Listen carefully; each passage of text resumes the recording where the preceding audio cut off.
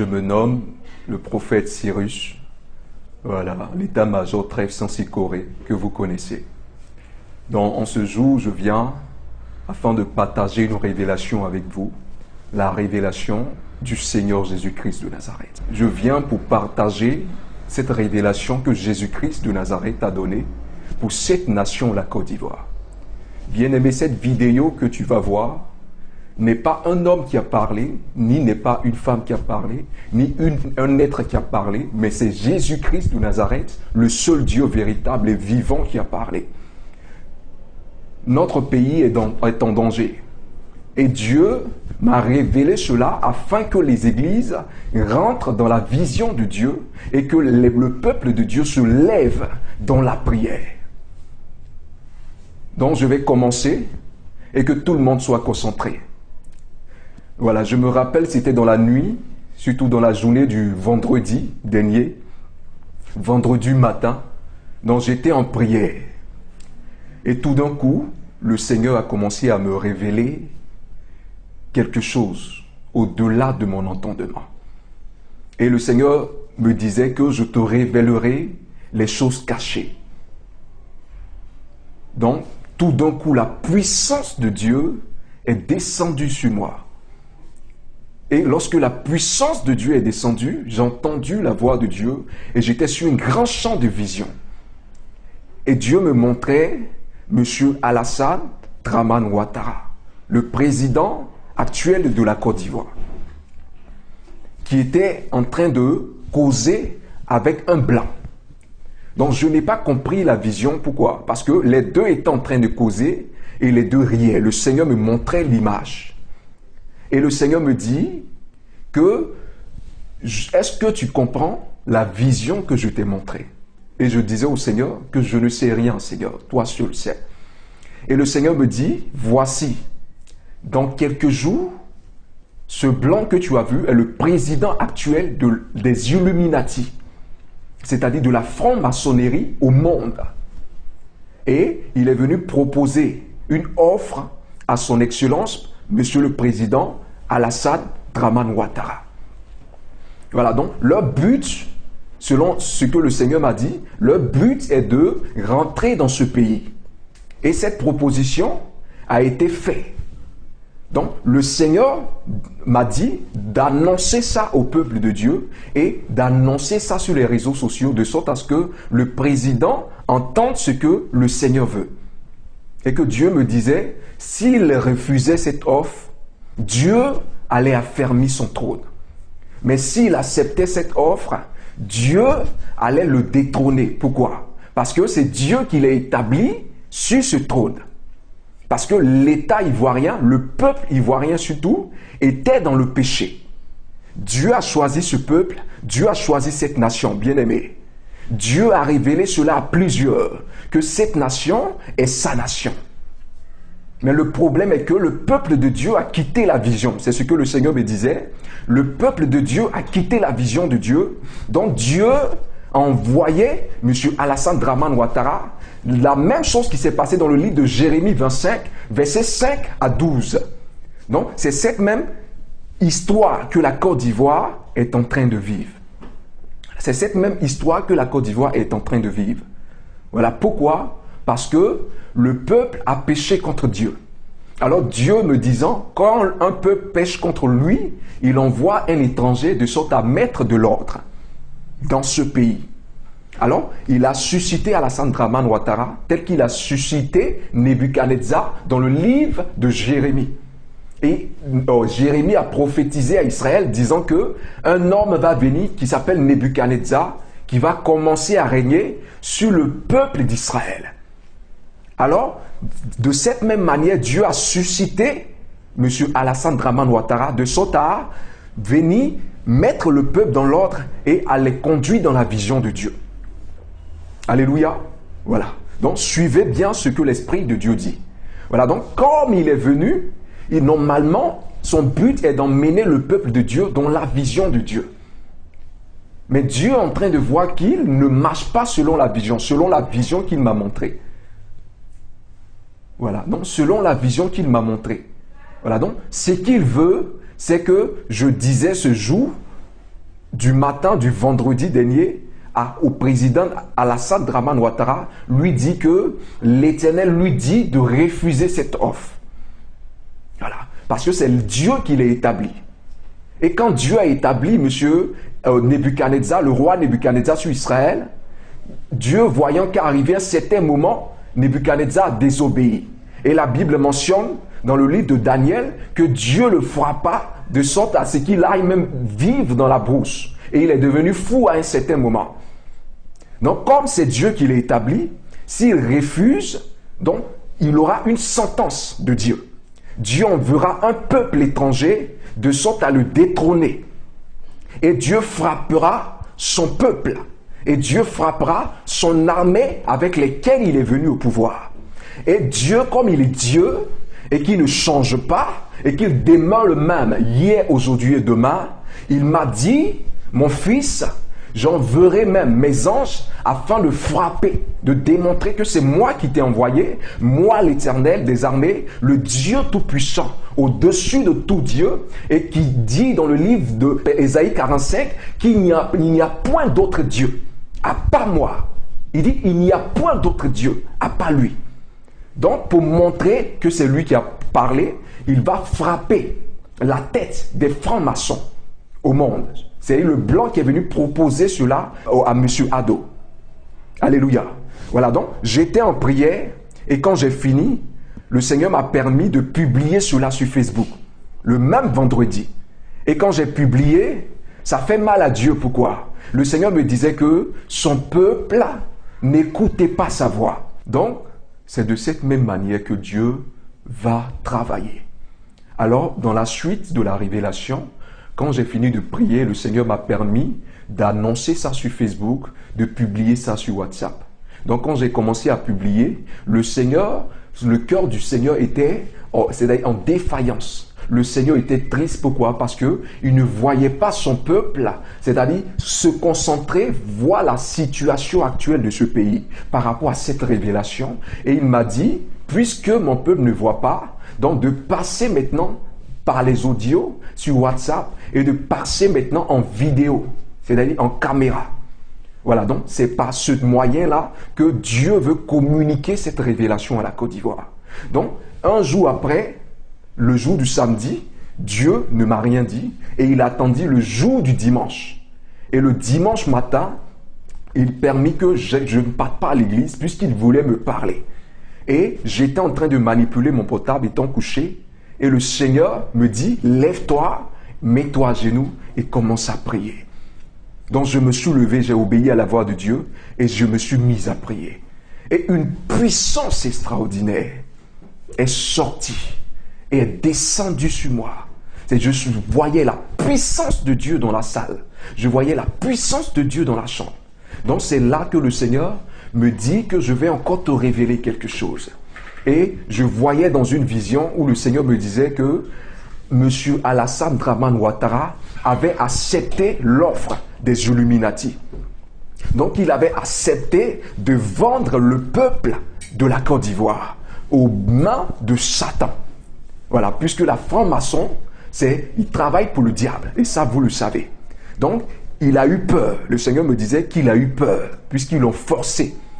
Voilà, ils l'ont forcé pourquoi? À force de pression, Monsieur Alassane Ouattara a accepté la proposition parce qu'ils lui ont dit s'il refusait. Ce que je suis en train de dire est ce que Dieu va vous confirmer. Parce que lorsque Dieu parle, il accompagne sa parole de la conviction.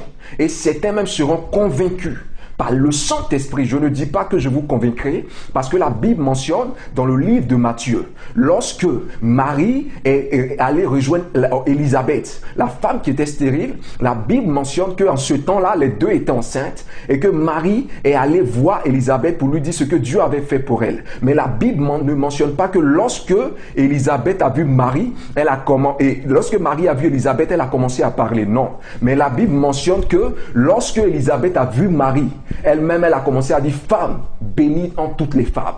C'est-à-dire, elle a commencé à témoigner de la puissance de Dieu dans la vie de Marie sans que Marie ne lui révèle. Donc quand Dieu est en train de parler, quand ton Père est en train de parler au travers de quelqu'un qu'il est en train d'utiliser, forcé, tu seras convaincu. Pourquoi? Parce que c'est Dieu qui parle au travers de lui.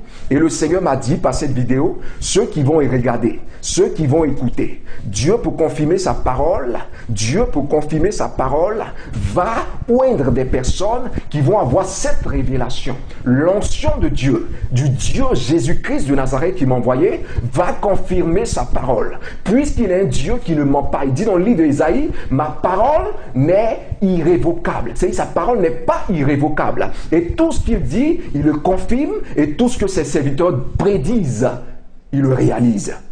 Alléluia. Donc ce que le Seigneur m'a montré est que Monsieur Alassane Ouattara a accepté l'offre.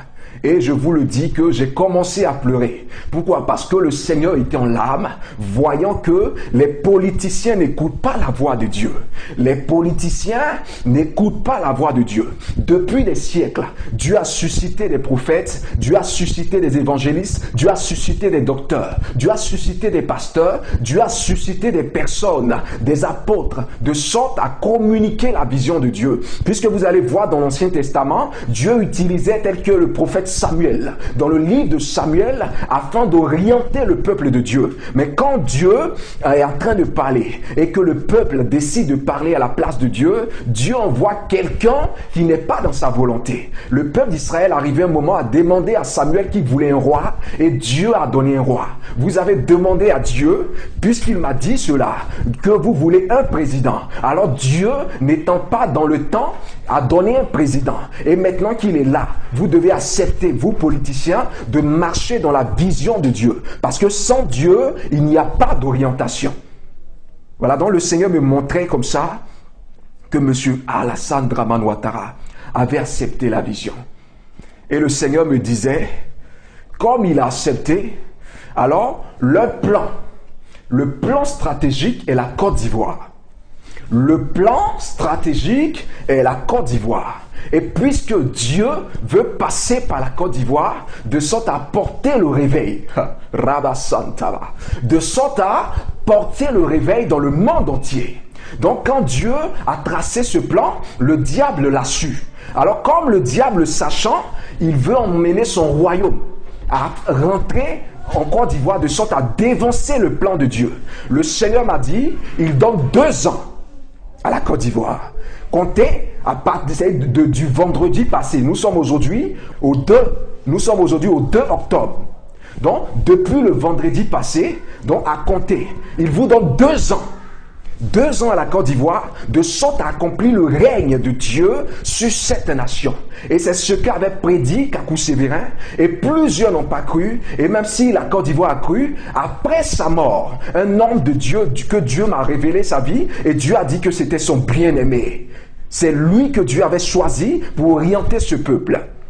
Et comme Dieu l'a enlevé, et normalement, dans les principes de Dieu, quand un prophète meurt, Dieu suscite toujours un autre prophète. C'est cela que vous allez voir dans l'histoire d'Israël, vous allez remarquer que Dieu, après la mort d'un prophète tel que Moïse, Dieu a suscité Josué. Et après la mort de Josué, Dieu a suscité encore une autre personne, jusqu'au temps d'Élie. Et Dieu a suscité Élie, et après la mort d'Élie, Dieu a suscité, Dieu a permis que Élie jette le manteau sur Élisée. Et quand Élie a jeté le manteau sur Élisée, Élisée était celui qui devait aider Élie dans la mission après la mort d'Élie. Et lorsque Élie est parti, Élisée a porté le manteau d'Élie. Mais c'est qui, ce que Dieu me disait que, est-ce que tu sais pourquoi est-ce que Élisée n'a pas jeté le manteau sur un de ses disciples et qu'il est mort avec le manteau? Je disais, Seigneur, je ne sais rien. Mais toi seul sais tout. Et Dieu me conduisit dans le livre de deux rois, voilà, où il me montrait la, mort d'Élisée. Or, la Bible mentionne que Élisée a reçu le manteau d'Élie. Mais Élisée meurt avec son manteau. Et c'est de cette même manière que Kakou Sévérin est mort avec son manteau. Pourquoi? Parce que les disciples qui étaient autour de lui, la famille qui était autour de lui, n'imitaient pas Dieu, mais imitaient Kakou Sévérin. Or, le but de Dieu n'est pas que le disciple imite le serviteur, mais est que le disciple imite le Dieu qui est dans le maître. Le Dieu qui est dans Élisée. Alors, Dieu vit qu'il n'y avait personne après la mort d'Élisée. Et c'est de cette même manière que Dieu a vu qu'il n'y avait personne après la mort de Kakou Sévérin. Dieu a regardé sur terre, il n'y avait personne. Tous ceux qu'il a envoyés, je vous le dis, tous ceux qu'il a envoyés, il n'a pas vu quelqu'un qui était capable de parler à pour Dieu.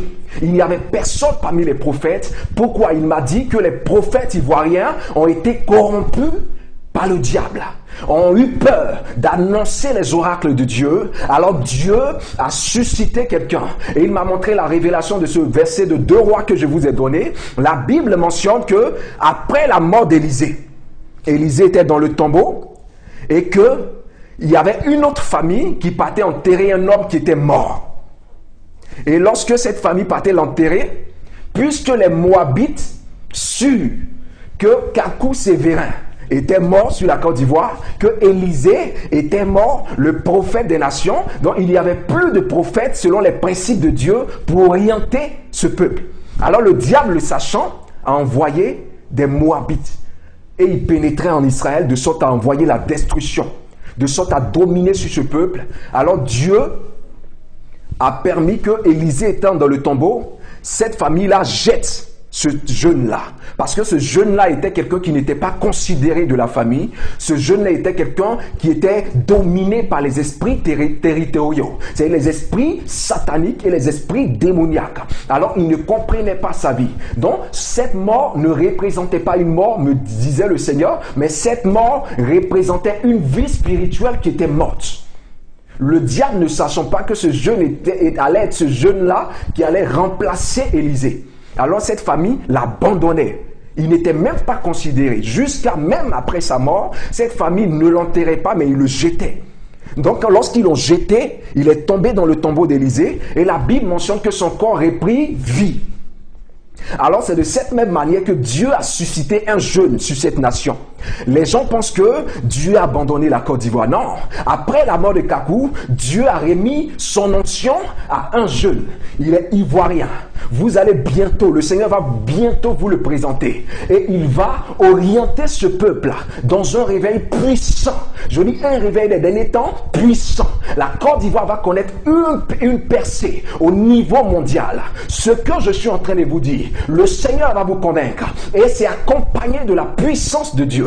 Le Seigneur va orienter ce peuple et mettre un berger de sorte à orienter. Et même ces principes sont spirituels. Le diable le sait. C'est pour cela que vous allez remarquer, lorsqu'un sorcier, un chef du village veut mourir, il ne meurt pas avec sa sorcellerie, mais il laisse l'héritage à quelqu'un de la famille. Pourquoi? De sorte à le succéder. Alors lorsqu'un prophète meurt, Dieu suscite son onction de sorte à déposer ça dans la vie de quelqu'un. Côte d'Ivoire, Dieu ne t'a pas abandonné. Côte d'Ivoire, Dieu ne t'a pas oublié. C'est pas parce qu'un peuple se lève contre toi que Dieu t'abandonne. Non, c'est pas parce que les gens se lèvent contre toi. C'est pas parce que les gens t'abandonnent, les gens même refusent de t'aider que Dieu t'a abandonné. Mais la Bible mentionne que c'est quand tu es rejeté. La Bible mentionne que c'est quand tu es abandonné. Car il a dit, j'arroserai d'eau le sol altéré et je remplirai de ruisseaux le sol qui est desséché. Alors c'est lorsque tu es abandonné que Dieu vient Côte d'Ivoire à ton secours. Vous croyez que Dieu abandonne un peuple parce qu'un peuple se lève contre lui? Vous pensez que Dieu abandonne la Côte d'Ivoire parce que des nations se lèvent contre elle? Non, jamais. Le Dieu que je connais n'abandonne pas. Le Dieu que moi je connais est un Dieu qui est fidèle. Et sa fidélité ne se rompt pas même par un péché. C'est pas parce que même ce peuple a péché que Dieu va abandonner. Mais Dieu relève toujours un peuple qui tombe car il a dit le juste tombera fois et il se relèvera sept fois. Alléluia. Donc ce que je suis en train de vous dire est que le président Alassane Draman Ouattara accepté cette proposition. Et le Seigneur me disait, le plan est d'entrer. Le plan est d'entrer en Côte d'Ivoire le 26 décembre. Alléluia. Le 26 décembre, notez bien. Le 26 décembre, il compte rentrer en Côte d'Ivoire. Alors sans que le peuple de Dieu ne sache. Et lorsque le Seigneur m'a montré cette vision, je voyais des milliers de morts. Je vous dis bien des milliers de morts. Et surtout, le Seigneur m'a donné, m'a permis de m'orienter sur les enfants et les femmes. Je voyais les, hommes, mais un, un. Mais plusieurs enfants et plusieurs femmes. Ce sang que je vis, sérieux, je n'ai jamais vu un sang. À un pas, tu pouvais voir, c'est le sang partout. Il n'y avait même pas un espace où il n'y avait pas de sang. Donc, des milliers de sang. De sorte à ce que le peuple ivoirien soit perturbé et qu'il ne rentre pas dans la prière. C'est le but. Alors le Seigneur me montrait les signes de leurs doigts. Comment vous allez reconnaître cette, cette secte-là? Illuminati. Voilà. Le pouce, le Seigneur me montrait que le pouce était arrêté. Vous voyez, quand tu prends la main droite, le pouce est arrêté. Alors, quand, après le pouce vient l'index. Donc l'index aussi est arrêté et les deux doigts sont courbés. Vous voyez Les deux doigts sont courbés et après ces deux doigts, le dernier qui vient, il est arrêté. Donc, vous voyez, les deux sont arrêtés et là, il n'y a plus de puissance. Là, c'est mort. Et à côté, il y a un doigt, lui, il est arrêté. Donc, ce doigt qui est le plus petit représente l'Église. Et les deux doigts représentent les nations. Donc, le but, le symbole de la secte, c'est ce signe-là qui est quoi? Tous contre un. Voilà, vous voyez. Voilà, tous contre un. Donc pour dire quoi? Ils viennent pas contre une nation, pas contre un président, pas contre un peuple, mais contre l'Église. Alléluia. Contre l'Église. Parce que l'Église est la pierre qui était dans la vision de Daniel. Cette pierre qui a heurté la, statue. Voilà. Donc, cette statue-là représentait les nations puissantes. Alors, la Bible mentionne que cette pierre commençait à grandir au fur et à mesure. Donc, Dieu va utiliser cette nation. Donc, par cette révélation, il y a la révélation de la Côte d'Ivoire. Donc, Dieu va utiliser la Côte d'Ivoire de sorte à propulser son règne sur terre. Donc le diable, le sachant, veut dévancer le Seigneur de sorte à empêcher les enfants de Dieu d'entrer dans la vision de Dieu. Vous voyez? D'entrer dans la vision de Dieu. Donc, le plan, le, de faire ce plan-là, c'est d'entrer le 26 décembre en Côte d'Ivoire. Voilà, le 26 décembre en Côte d'Ivoire. Alors, lorsqu'ils vont rentrer, ils vont commencer le début du plan, le 30 décembre. Alléluia. Le début du plan, le 30 décembre. Cette année, le 30 décembre. Donc quand ils vont commencer ce plan-là, le 30, c'est-à-dire, ils vont commencer ce plan. Et leur but est de verser du sang. Leur but est de tuer, c'est-à-dire la destinée de la nation. Leur but est d'envoyer la, rétrograde au niveau de la vie des chrétiens. Donc plusieurs vont sentir la lourdeur, plusieurs vont se sentir assoupis. Pourquoi? Parce que le diable va essayer de dominer sur cette nation. Alors le Seigneur me disait, son but est de tuer la flamme de Dieu. Pourquoi? Parce que la prophétie de Daniel est, est en accomplissement. Pourquoi Dieu nous a donné deux ans deux ans pour établir son règne en Côte d'Ivoire. Donc, ces deux ans-là seront une année de percée. Donc après ces deux ans, Dieu va répandre son règne sur la Côte d'Ivoire, de sorte à ce que par la Côte d'Ivoire, il y ait des serviteurs de Dieu pas possible. De sorte dans la Côte d'Ivoire, il y ait des femmes qui percent dans leurs activités et dans leurs affaires, des hommes et des jeunes influents sur tous les domaines. Vous allez voir, le Seigneur me disait, vous allez voir la puissance de Dieu telle que vous n'avez jamais eu, puisqu'il disait que même les prophètes rêvaient de voir ce jour. Même Abraham et Moïse rêvaient de voir ce jour. Pourquoi? Ça sera un jour glorieux. Le ciel sera ouvert sur, la Côte d'Ivoire et vous allez voir la puissance de Dieu, l'ancien de Dieu qui va se répandre sur des jeunes, qui va se répandre sur des vieillards, qui va se répandre sur des hommes. Je dis, c'est que l'Esprit de Dieu m'a dit. Cette prophétie va avoir lieu. Cette, elle va s'accomplir car Dieu n'est pas un Dieu qui ment. Quand Dieu parle, c'est que la chose existe. Quand Dieu parle, c'est qu'il a les moyens d'accomplir cette prophétie. Et il m'a dit, mon fils, j'accomplirai cette prophétie. Alors comme ils ont vu que le règne de Dieu est en Côte d'Ivoire, ils veulent éteindre la flamme. Alors comme le diable rôde toujours, le diable rôde toujours, voilà. Donc, je demande aux Ivoiriens d'entrer en prière. Je demande aux églises d'entrer en prière. Suivez cette vidéo. J'ai pas besoin de j'aime. Non, Dieu n'a pas besoin de buzz. Je cherche des personnes qui rentreront en prière.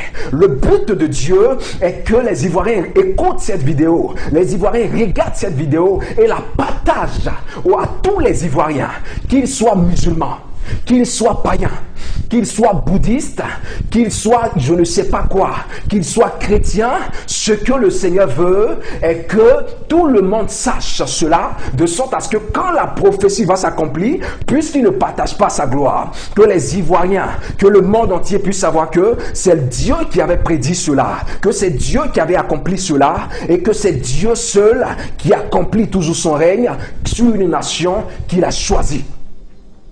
Alors, Ivoiriens, Ivoirienne, l'heure est grave.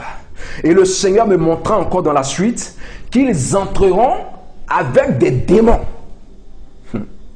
Le Seigneur m'a dit qu'ils entreront avec des démons et non humainement. Ils vont entrer avec des démons de sorte à ce que les Ivoiriens sachent que ce combat n'est pas chanel, mais que ce combat est spirituel. Ils vont rentrer avec des démons. Alors le Seigneur m'a montré une armée angélique. L'armée de Dieu est déjà dans les rues actuellement. Pour ceux qui ont les yeux verront, pour ceux qui sont des visionnaires, pour ceux qui ont l'esprit de Dieu verront les anges dans toutes les contrées de la Côte d'Ivoire. Alors Dieu a déjà posté ses anges. Et le Seigneur m'a dit que ce combat sera tellement féroce vous écoutez, ce combat sera tellement féroce qu'il sera comparé à la guerre qui s'est passée dans le ciel lorsque le diable s'est rébellé contre le trône de Dieu. C'est-à-dire les anges de Dieu et les anges de Satan vont tellement se donner à fond. Pourquoi? Parce que cette prophétie est la prophétie des derniers temps. Quand cette prophétie va s'accomplir, vous saurez maintenant que nous sommes dans les derniers temps et que le diable, l'antichrist, sera prêt à se révéler. Vous allez comprendre. Nous sommes dans la dernière génération. Il n'est plus temps de jouer. Le Seigneur me dit, le combat sera tellement fort, même que les anges de Dieu seront épuisés après le combat. Alléluia. Les anges de Dieu seront épuisés. Robo Le Seigneur m'a dit que les anges de Dieu seront épuisés. Donc, tellement ce combat sera féroce. Pourquoi? Parce que après ce combat, c'est là que la prophétie de Dieu et que le ciel sera ouvert sur la Côte d'Ivoire. Pourquoi? Parce que Côte d'Ivoire, Dieu t'aime.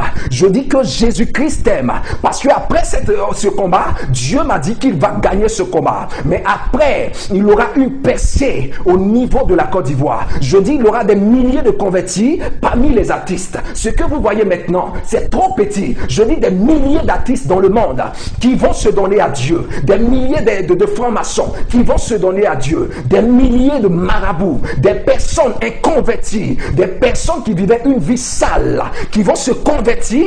Pourquoi? Parce qu'il est temps. Dieu est en train de choisir ses élus. Dieu est en train de choisir ses gendarmes. Dieu est en train de choisir ses éléments. Parce que la guerre d'Amageddon ne sera pas comparée à ce combat, m'a dit le Seigneur. Même la première guerre mondiale, même la deuxième guerre mondiale ne sera pas comparée. Il voit rien. Le Seigneur Jésus vous parle. Il voit rien. Le Seigneur Jésus vous parle. Je ne suis pas comme ceux qui parlent pour parler. Mais quand Dieu est en train de parler, on ne fait pas de tapage. Parce que l'Esprit de Dieu, en ce moment, quand je parle, l'onction est en train de vous visiter. Dieu est en train de vous restaurer. Vous qui êtes les enfants de Dieu et que Dieu s'est souvenu de votre alliance. Pourquoi? Parce que La Côte d'Ivoire est la nation qui prie pour Israël. La Côte d'Ivoire a tissé une alliance avec Israël. Alors Côte d'Ivoire, continue toujours de prier pour Israël. Continue toujours de te souvenir d'Israël. Pourquoi? Parce que c'est grâce à cette alliance que Jésus-Christ de Nazareth, le Dieu Tout-Puissant, vient à ton secours. Parce qu'il ne t'a pas oublié. Il ne t'a pas oublié. Les gens peuvent te délaisser. Les gens peuvent t'oublier. Mais Jésus-Christ de Nazareth, le Dieu que je sais et que nous servions, n'oublie jamais ses enfants. Il a dit, mon fils, j'accomplirai ces prophéties afin que le monde voie par la Côte d'Ivoire que Dieu n'a pas disparu, que Jésus n'a pas changé et que la terre lui appartient toujours. Qui a dit que la terre appartenait au diable? Cette terre pour Dieu et Dieu va démontrer que sans lui, il n'y a pas de domination, que sans lui, il n'y a pas de gloire et sans lui, il n'y a pas de puissance. Et à travers cette nation, Dieu va opérer. Et Dieu m'a encore montré